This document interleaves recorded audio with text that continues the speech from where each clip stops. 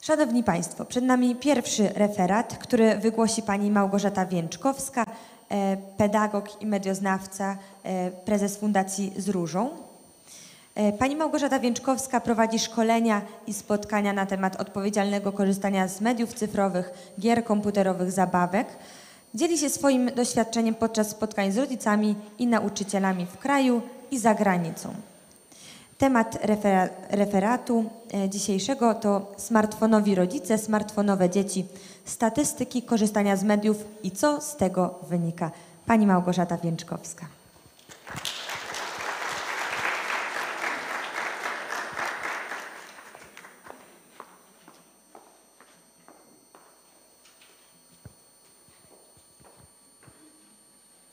E, Szanowni Państwo, witam bardzo serdecznie. E, Jest to dla mnie ogromny zaszczyt, że możemy dzisiaj e, gościć profesora Manfreda Spicera. Muszę się podzielić swoim takim no, doświadczeniem osobistym, jak przeczytałam pierwszą książkę Demencję cyfrową. Tak mną poruszyła ta książka, że od tamtej pory, to jest 10 lat, na każdym spotkaniu z rodzicami, wszędzie gdzie jestem, zawsze o tym mówię. E, I udało nam się właśnie pana profesora zaprosić, z czego jestem no niezmiernie dumna i tym bardziej każdego z państwa rodzica, nauczyciela zachęcam, aby czytać te książki. Mamy pięć książek e, profesora Spicera, tytułów e, w Polsce przetłumaczonych, po to, żeby naprawdę, jeżeli kochamy swoje dzieci, wychować je naprawdę jak najlepiej. Każdy rodzic chce dla swojego dziecka szczęścia. E, I ja naprawdę bardzo do tego e, serdecznie e, zapraszam, bo tam na wiele naszych problemów rodzinnych, które wynikają z nadmiernego nadużywania korzystania z mediów, znajdziemy odpowiedź. Żyjemy dzisiaj w społeczeństwie cyfrowym. Możemy coraz częściej mówić właśnie o cyfrowym dzieciństwie, cyfrowej młodości, cyfrowych rodzicach, smartfonowych rodzicach. Nie byłoby smartfonowych dzieci, gdyby często nie było smartfonowych rodziców. Dzieci, my jesteśmy dorośli dla dzieci wzorem. Oni nas obserwują, naśladują e, i dlatego właśnie to środowisko rodzinne jest najważniejsze, bo to my, dorośli, rodzice, udostępniamy dzieciom dostęp do mediów. To jest niezmiernie ważna nasza rola dorosłych. Rozmowy, kontaktu, właśnie e, ze swoimi, ze swoimi dziećmi. Wprowadzanie w świat mediów. Fantastyczny świat, który bardzo może otworzyć, ale też może bardzo z, przyczynić się do zubożenia e, różnych kontaktów, do różnych też e, chorób e, i, i różnych innych e, zagrożeń. Proszę Państwa, no, społeczeństwo informacyjne, no wiadomo, najważniejszą cechą jest produkcja e, mediów. E, Jeżeli produkcja, to ktoś to musi odbierać, oglądać, korzystać z tego. E, Media dzisiaj wykorzystują całą wiedzę na temat wpływu społecznego. Co zrobić, abyśmy chcieli wrócić przed ekran telewizora, by nasze dzieci chciały wrócić e, też do gry komputerowej, czy żebyśmy chcieli wracać na różne portale i media społecznościowe. E, Za tym oczywiście stoi cały sztab, e, specjalistów, którzy się e, specjalizują no właśnie w tym, jak odbiorcę do siebie po prostu, proszę Państwa, przyciągnąć. Dzisiaj coraz częściej, oczywiście e, tutaj w żaden sposób nie chcę generalizować, nikogo nie namawiam do jakiegoś wyrzucania tych mediów przez okno, tylko do wychowania krytycznego, twórczego podejścia do świata mediów i takiego krytycznego, selektywnego, bo jest to niezmiernie ważne. Ja tu pokazałam takiej mniej więcej e, kolejności, jak te media wchodziły, jak te media się, że tak powiem, rodziły e, i wchodziły do naszych, do naszych rodzin, do naszych domów. E, Ostatnie pokolenie tylko nie zna świata bez smartfona. My jeszcze znamy, e, jak to było kiedyś, e, jak byliśmy wychowywani. E, Mamy to szczęście, że byliśmy inaczej też wychowani, tak? I nas wiele rzeczy ominęło. Ale mamy ogromną odpowiedzialność prze, właśnie wobec naszych dzieci, żeby je jak najpiękniej wychować. Proszę Państwa, dzisiaj młode pokolenie żyje na szóstym kontynencie wirtualnej przestrzeni, której tak naprawdę nie da się dotknąć. Ona jest. My nie wiemy z kim, z jakimi treściami, e, z jakimi, kto na moje dziecko oddziałuje. Na mnie też tak samo, na osobę dorosłą. Dlatego tak należy się przyglądać i po prostu więcej z dzieckiem spędzać e, tego e, czasu tu i teraz, w tym momencie rozmawiać. Najważniejsze, proszę Państwa, są relacje. My dzisiaj bardzo te relacje gdzieś pogubiliśmy. Relacje tu i teraz z moim dzieckiem, z małżonkiem, z osobami, które są mi e, najbliższe. Największe zmiany w zachowaniu właśnie młodego pokolenia, te negatywne konsekwencje e, rozwoju technologii smartfonów zauważamy, środowisko naukowe zaczyna alarmować od 2012 roku. A więc wtedy, kiedy tak naprawdę smartfony były bardzo mocno dostępne praktycznie już dla każdego. E, proszę Państwa, oczywiście y, dzieci chętnie będą korzystać z tych fantastycznych wynalazków, bo one bardzo mocno je przyciągają, tak? Atrakcyjne są. 80% polskich dzieci posiada swój własny telefon. Z tego 97% dzieci codziennie korzysta z internetu. Tu mamy dane, proszę Państwa, z 2018 roku, ale z każdym, że tak powiem, dniem, rokiem one są coraz, e, podwyższają się. E, ja się nieraz tak zastanawiam, pytam, w jakim celu małe dzieci korzystają z tego internetu. Rekomendacje są takie, że tak naprawdę dziecko do siódmego roku życia w ogóle nie powinno korzystać z internetu. A ja wielokrotnie dużo się przemieszczam po Polsce, dużo jeżdżę pociągami, a więc widzę, co się dzieje. Też jak wyjdziemy, każdy myślę ma takie obserwacje. Małe dziecko dostaje smartfona mamy i ma dostęp już od razu też do internetu. Ogląda e, wszystko to, co przyniesie e, obraz na YouTubie, jeden za drugim i tak, tak dalej. Proszę Państwa, e, młodzi, młodzi ludzie, młodzież, szczególnie po lockdownie, 9 godzin dziennie jest w kontakcie e, właśnie światem wirtualnym, telefon cały czas e, przy sobie. E, my dzisiaj więcej czasu spędzamy z mediami elektronicznymi. To jest jakby mm, jak jakaś całodobowy dopływ jakiejś dopaminy, jakiś taki cały czas jesteśmy do tej kroplówki podłączenia elektronicznej. Młodzi ludzie więcej czasu spędzają w wirtualnej tej przestrzeni, Niekoniecznie, proszę Państwa, szukając wiedzy naukowej, odwiedzając e, jakieś czytanie e, i odwiedzanie galerii, na gdzieś szukanie właśnie takich informacji, tylko to najczęściej właśnie jest rozrywka. E, więcej czasu spędzają w wirtualnej przestrzeni aniżeli w szkole. Profesor wczoraj mówił. Profesor prawdopodobnie się też nam o tym powie. Jak ważny jest okres młodego człowieka wykształcenia, uczenia się, poznawania świata, e, uczenia różnych języków i tak dalej.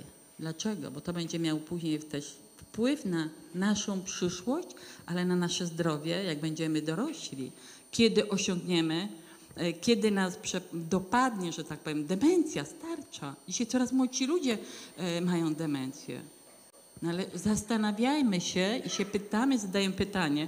Profesor wczoraj też pokazywał te badania. 40% my mamy na to wpływu, żeby właśnie uniknąć takich negatywnych skutków. Proszę Państwa, ja bym sobie no, bardzo życzyła, abyśmy tak jak dbamy i pielęgnujemy relacje i kontakt z naszymi smartfonami, wiele osób, e, e, żebyśmy tak no właśnie dbali o relacje w realnym życiu z naszymi znajomymi, rodzicami, dziećmi, e, rówieśnikami.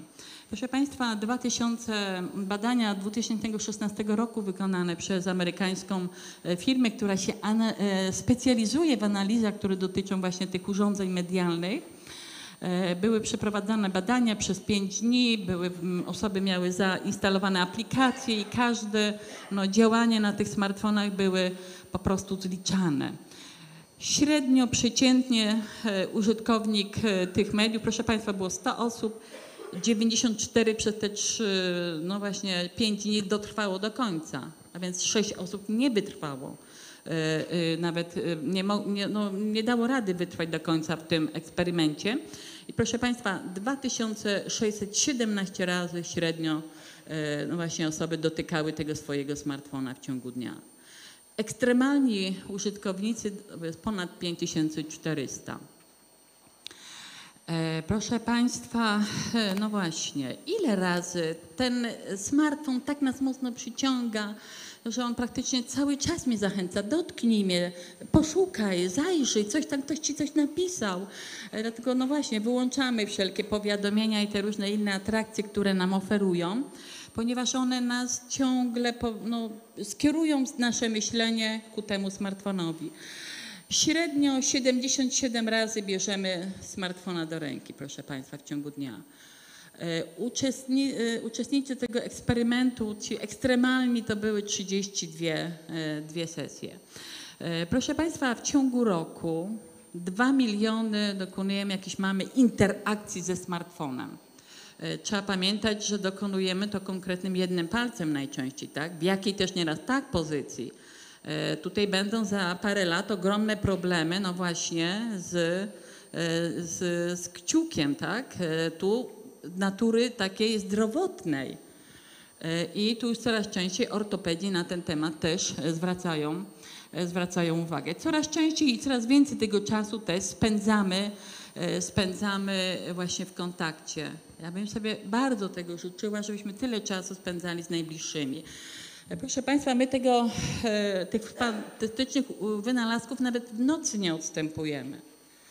80%, e, no właśnie 87% użytkowników smartfonu od północy do 5 raz, e, rano chociaż raz musiała go dotknęła, sprawdziła, bo coś przyszło, jakieś informacje i tak dalej, a 11% trzy razy w ciągu nocy, a więc wybudzamy się, żeby odebrać jakąś informację. Jeżeli dobrze nie odpoczywamy, nie śpimy, na drugi dzień dzieci są zdekoncentrowane, gorzej uczestniczą w nauczaniu, e, ale to również na dorosłych też dotyczy. Gorsza odporność, na drugi dzień źle funkcjonujemy i tak dalej. To ma swoje też później konsekwencje zdrowotne i tak. Proszę Państwa, różnych badań, komunikatów jest bardzo dużo. Ja specjalnie tutaj poprosiłam taki niedługi wstęp, e, żeby trochę pokazać, jakie są nasze, e, mm, jak my w Polsce użytkujemy, korzystamy z tych mediów, bo profesor będzie tu dużo też mm, prawdopodobnie z tego, jak zawsze mm, czytam i słucham,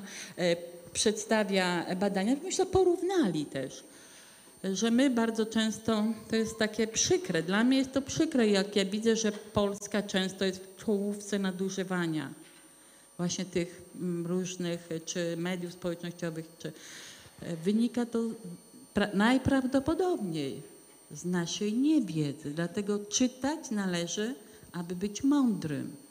Media często głównego nurtu o tym nie piszą, nie mówią, przepraszam, nie piszą.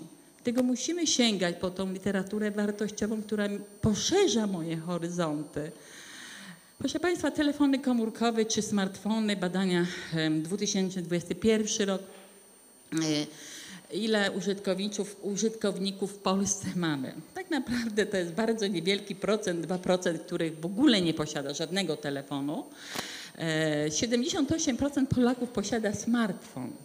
A więc tam to najczęściej tak, to starsi ludzie, e, no, chociaż już też wie coraz częściej e, 60, 70 plus z- pozostali przy tych no, właśnie starszych modelach. E, I e, dlatego one są cały czas w każdym momencie przy nas.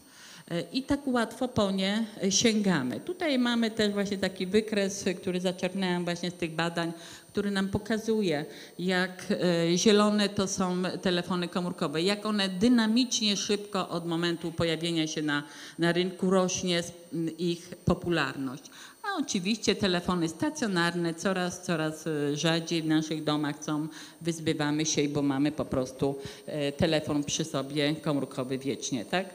E, Teraz proszę Państwa, tutaj mamy też rozpisane lata, jak, od 2015 roku korzystanie z telefonu komórkowego czy stacjonarnego. Oczywiście jest coraz bardziej wygodny i my też najczęściej już używamy i wszędzie ze sobą nosimy, dlatego ten telefon komórkowy, smartfon e, po prostu jest nam, e, to jest takie centrum dowodzenia.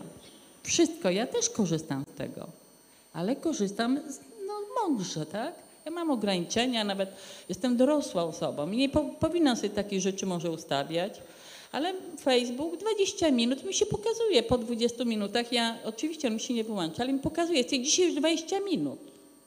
Bo to się wejdzie i nie wiadomo kiedy upłynęła godzina, dwie, a może i więcej. Tak upływa czas młodym ludziom. Oni później, no nic nie zrobiłem, bo, no właśnie, bo byłem w sieci. E, Sposób korzystania, no do czego wykorzystujemy? E, No ja bardzo dużo różnych sytuacji wykorzystuję, ale młodzi głównie rozrywka. E, Głównie do, do właśnie do rozrywki. Tutaj podstawowe zasto- zastosowanie to jest, proszę Państwa, 38%, tak? Zastosowania jakieś rozszerzone, a wszystkie multimedia e, to e, już mamy tutaj 28% e, użytkowników. E, Teraz do przeglądania właśnie, w jaki sposób e, korzystamy do przeglądania internetu i czy my mamy świadomość, że ja za dużo korzystam. My nie mamy takiej świadomości, jak pokazują te tutaj właśnie badania. E, Bo w 2018 roku osoby, no właśnie, czy um, korzystam za dużo według siebie, e, no to padały, że 23% twierdziło, że tak, za dużo korzystam, miało tą świadomość. Proszę Państwa, tylko teraz w 2021 roku o 4% więcej osób ma świadomość, że za dużo korzystam z tych mediów. My nadużywamy i nawet nie mamy takiego poczucia, że ja to nadużywam. Te dane są, wręcz bym powiedziała nieraz, naprawdę alarmujące, jak się widzi rodziny w ogóle ze sobą nie rozmawiające. E, Proszę Państwa, my wracamy do kultury obrazków. Cywilizacja, jakby się, cywilizacyjnie jakby się analfabetyzm wtórny zaczynamy mieć.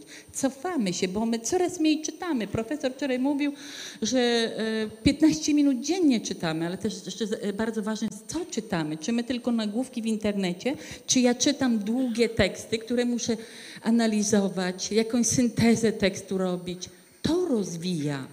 Nie jakieś newsy przeczytane, plotkarski świat y, medialny, tylko czytanie poważnych jakichś takich e, właśnie artykułów.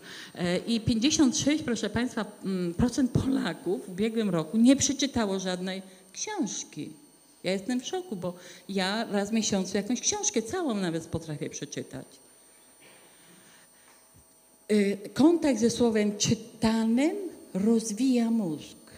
Dlatego zachęcam naprawdę, proszę Państwa, celebrujmy w rodzinach, w domu czytanie, e, bo to rozwija mowę też. Skąd się dzieci? Dzisiaj mnóstwo dzieci ma problemy z wymową. 75% polskich dzieci w przedszkolach, jak mam spotkania z rodzicami i się pytam wcześniej nauczycieli, ile jest e, właśnie dzieci, które muszą korzystać z porady logopedy, to jest 75%.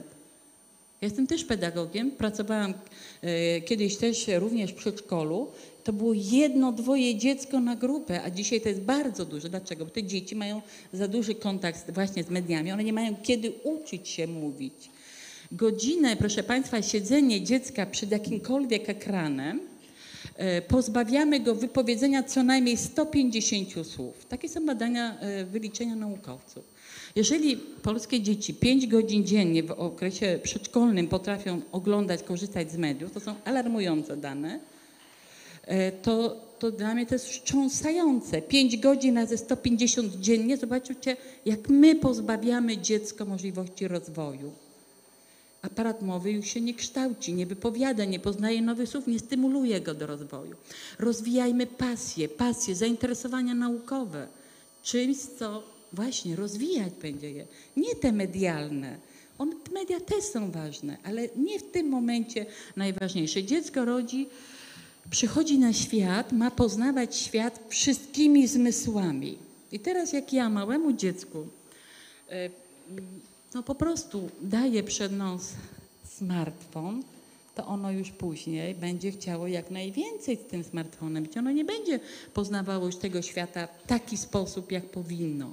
Dziecko ma poznawać za pomocą wszystkich zmysłów, ma wszystko dotknąć, polizać, powąchać i tak dalej. Proszę Państwa, czas przygotowania do nauki w szkole czytania i pisania to jest abstrakcja. Siedem lat, każda czynność przygotowuje właśnie już do tej nauki czytania i pisania.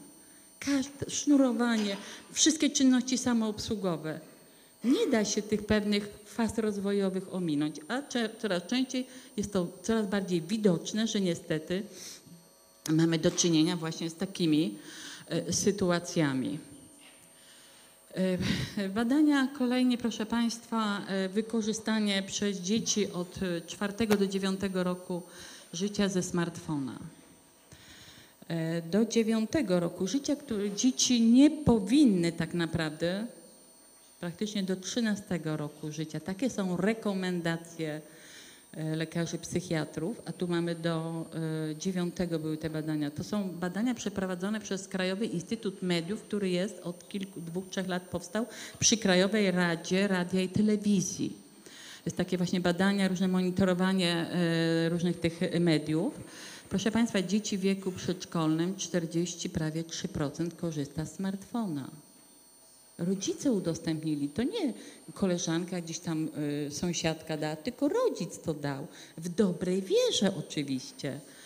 E, ale konsekwencje później mogą być no, bardzo dla nas, dla rodziców przy, przykre. Proszę Państwa, my również mamy dzisiaj w Polsce, w każdej szkole wspomaganie psychologiczno-pedagogiczne. Jak rozmawiam z rodzicami, to wielokrotnie mówią, że coraz więcej, coraz trudniejsze są dzieci.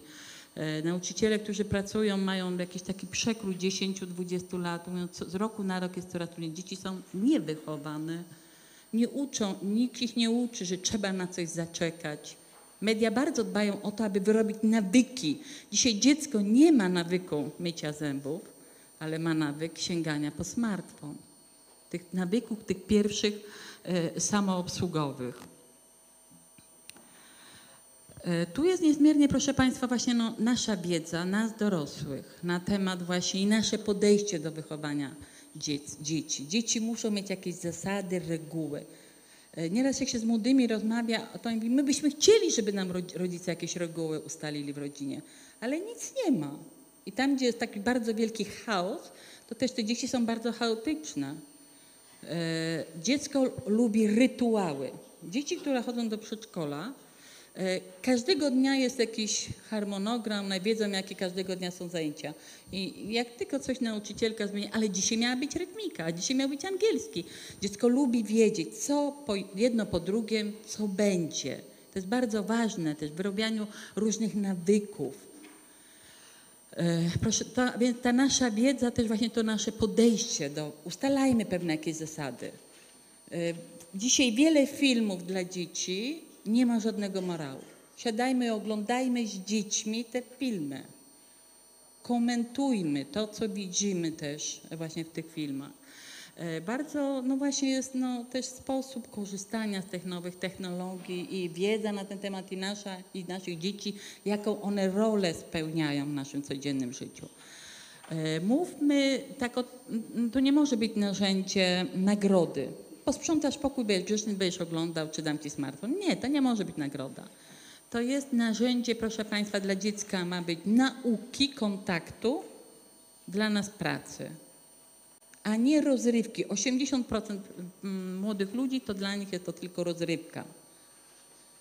79 dzieci właśnie do oglądania filmów, chyba 64% wykorzystuje do grania. Już go od małego przyzwyczajamy do grania. Kiedyś mm, pociągu, chłopczyk do mnie tak chodził po tym e, przydziale, podchodzi do mnie i mówi, dasz mi pograć?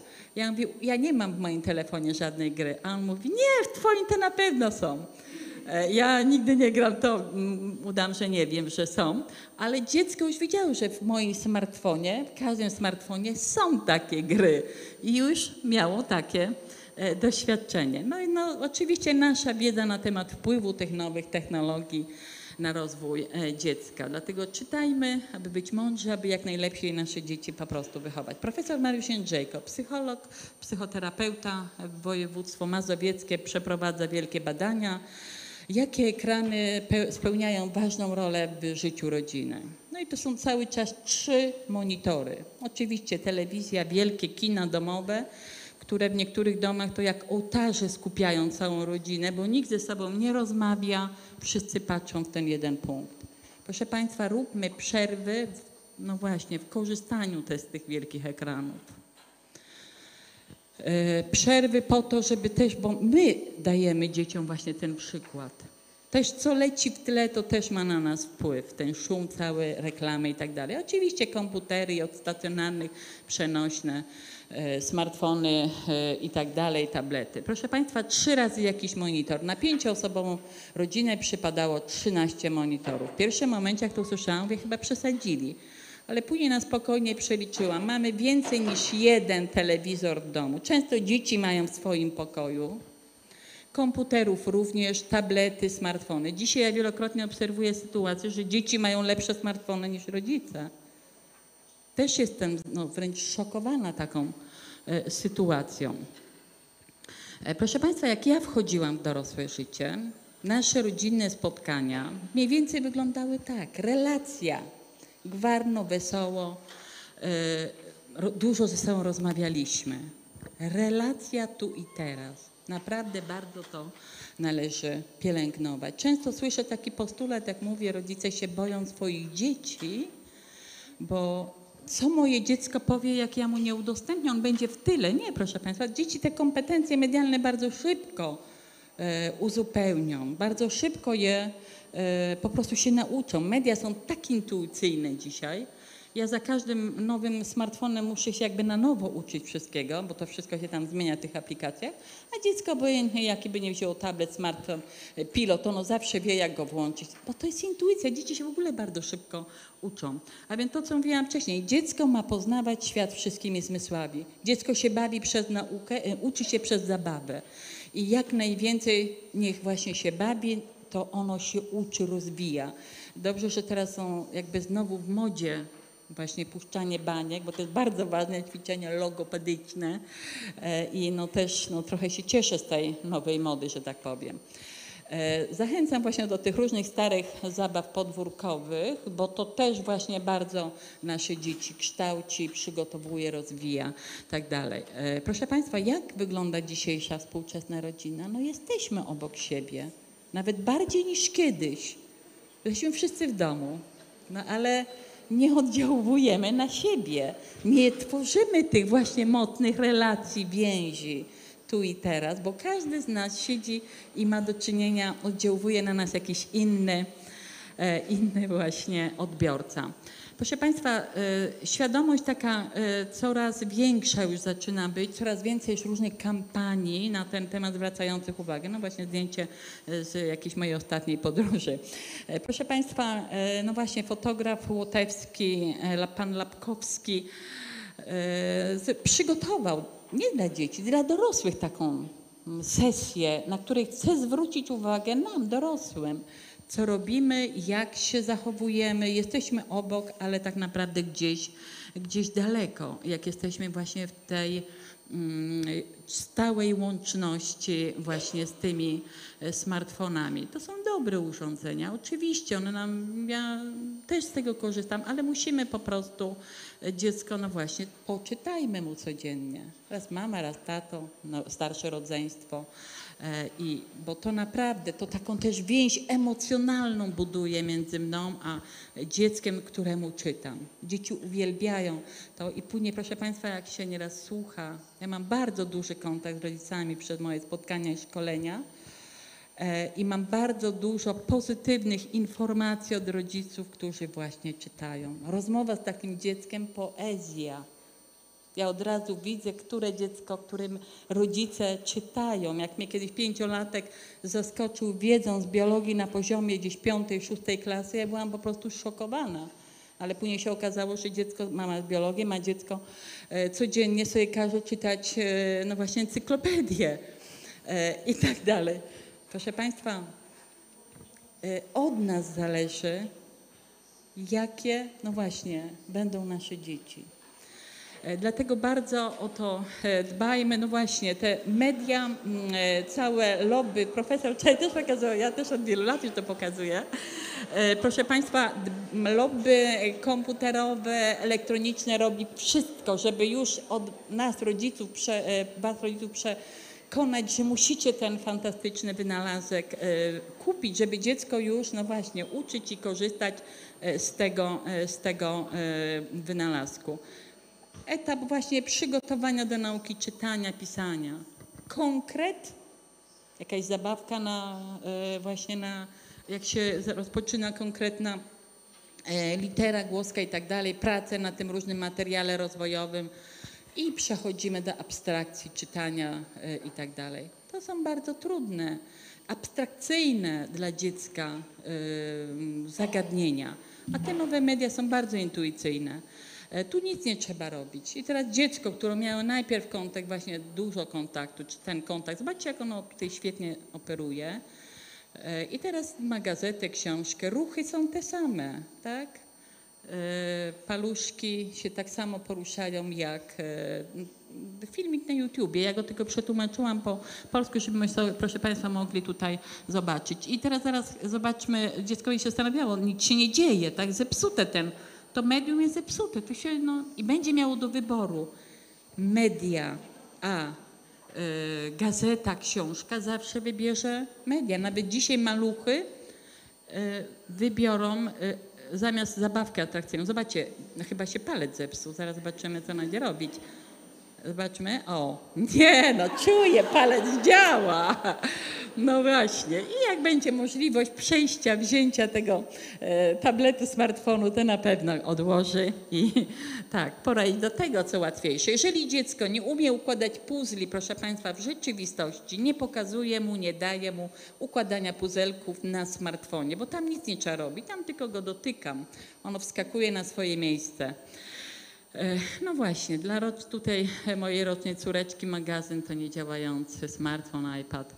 E, I tak, proszę Państwa, twórcy tych fantastycznych wynalazków swoim dzieciom nie dawali tych mediów, bo zdawali sobie sprawę, jakie mogą być tego konsekwencje.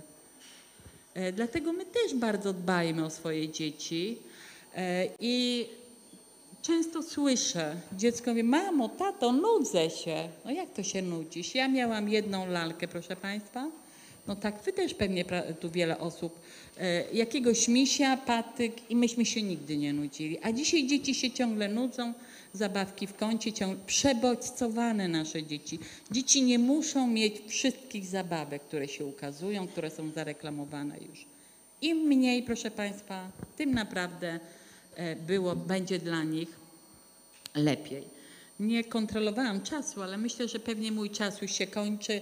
E, Moim zadaniem e, było właściwie tylko tak, że tak powiem, zasygnalizować. E, Państwo mnie to mają dość często tutaj co roku e, na tej konferencji, a chcielibyśmy i właśnie ten czas jak najwięcej e, panu profesorowi, żeby się po prostu podzielił swoim no, doświadczeniem naukowym, bo to jest naprawdę ogrom wiedzy, e, takiego doświadczenia, którego ja życzę każdemu rodzicowi, żeby to nauczycielowi. Ja jako lekturę zadaję nauczycielom demencję cyfrową, rodzicom epidemię smartfonu, bo jest łatwiej napisana, zależy co kto lubi, czy ktoś lubi naukowe artykuły, czy bardziej dostępne eseje. Każdy to powinien po prostu e, przeczytać, jeśli kocham swoje, swoje dziecko. Proszę Państwa, papież Franciszek, koniec to już jest, ale to jest piękna na koniec sentencja.